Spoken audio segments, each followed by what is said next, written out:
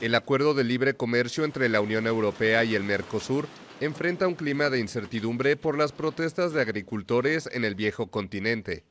El entusiasmo por cerrar una negociación que se arrastra desde hace más de 20 años se estrelló contra la masiva movilización de los campesinos europeos.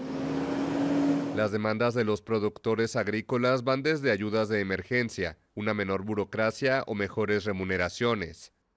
Pero la mayoría coinciden en señalar las normas de producción en la Unión Europea, relativas al uso de pesticidas y las importaciones desde fuera del bloque, advierten de una eventual caída de ingresos y una competencia desleal.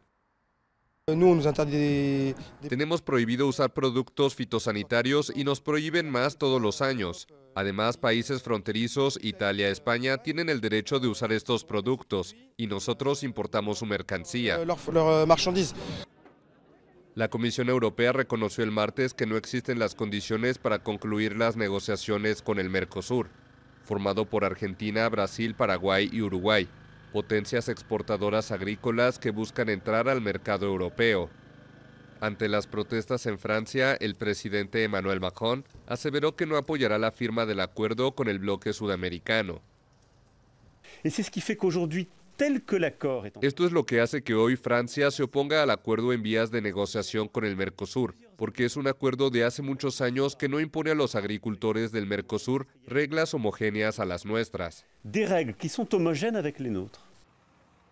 Las protestas se han extendido a países como Alemania, Italia, Rumania, Polonia, Bélgica y más recientemente España. El acuerdo entre la Unión Europea y el Mercosur crearía un mercado integrado con casi 800 millones de habitantes. RCC Noticias llega gracias a Cooperativa Chortizer, Cooperativa Fernheim, Cooperativa Neuland, FECOPROD, Inverfin Record Electric, Grupo Ilagro, Chacomer Automotores, Classic Motos,